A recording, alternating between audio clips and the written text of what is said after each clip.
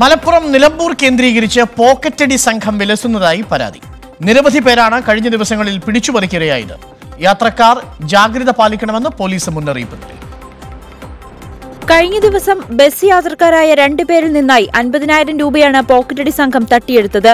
വണ്ടൂരിൽ നിന്നും നിലമ്പൂരിലേക്ക് ബസ് യാത്രക്കിടെയായിരുന്നു സംഭവം. ഒരാളുടെ പക്കൽ നിന്നും A T M card PAN card എന്നിവയും ഇരുപത്തിമൂവായിരത്തി അഞ്ഞൂറ് രൂപയും മറ്റ് രേഖകളും നഷ്ടപ്പെട്ടു. നിലമ്പൂർ ജില്ലാ ആശുപത്രിയിൽ പോയി മടങ്ങി മമ്പാട്ടേക്ക് ബസ്സിൽ യാത്ര ചെയ്ത വയോധികന്റെ പതിനൊന്നായിരം രൂപയും നഷ്ടപ്പെട്ടു. ബസ്സിലിരിക്കാൻ സീറ്റ് കൊടുത്ത് സഹായിച്ച് ശ്രദ്ധ മാറ്റിയാണ് വയോധികന്റെ പോക്കറ്റടിച്ചത്. പലരും പോലീസിൽ പരാതി നൽകാൻ തയ്യാറാകാത്തതും കുറ്റവാളികൾക്ക് സഹായകരമായി മാസ്ക് ധരിക്കുന്നത് മറയാക്കി പ്രവർത്തിക്കുന്ന പോക്കറ്റടി സംഘത്തിന് മാസ്കും രക്ഷപ്പെടാൻ സഹായമായി. ഇതിനാൽ തട്ടിപ്പിനിരയായവർക്കും പ്രതികളെ തിരിച്ചറിയാൻ സാധിക്കുന്നില്ല.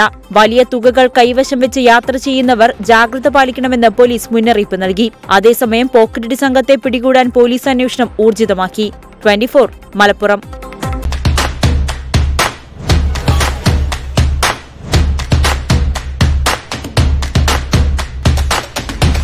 Number one election channel 24.